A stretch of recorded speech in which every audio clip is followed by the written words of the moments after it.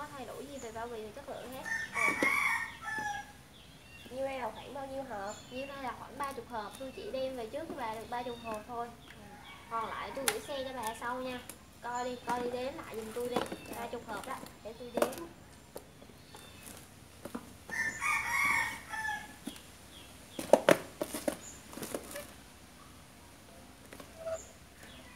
Đủ chưa bà?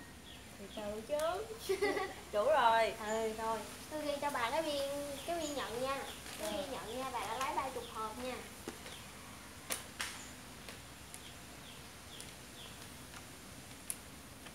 Rồi của bà đây bà giữ cái tên này luôn đi.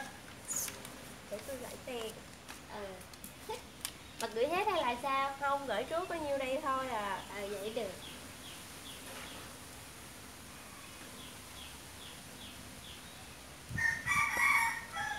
Đây, rồi để tôi coi lại nha mà bao nhiêu đây bà? Khoảng 10 triệu á. Ờ vậy thôi bà lấy đủ rồi thôi. Rồi. cảm ơn bà. Coi hàng đi coi hàng đi. Nó cũng giống như trước ha. Ờ. Cái này là bà này biết không? Tôi á đã gửi cho mẹ tôi uống rồi. Mẹ tôi bảo là cảm thấy rất là dễ ngủ dễ ngủ. Mà mình à, mình kiểu dạng không có nóng nảy á tại mẹ tôi giờ già rồi mẹ tôi năm mươi mấy rồi. Bà uống bà thấy sao? Tôi cũng thấy um, cũng tốt, cũng khỏe Nhìn da trắng hơn. Trời ơi con bà này da trắng ơi là trắng. Coi đây thấy chưa? Da mà khách tôi là vậy á. Bà nào cũng trắng như bà hết á. Ừ. à, uống cái này vô là kiểu dạng nó có màu đầu nằm nữa. Bà có thấy căng xa vòng một không?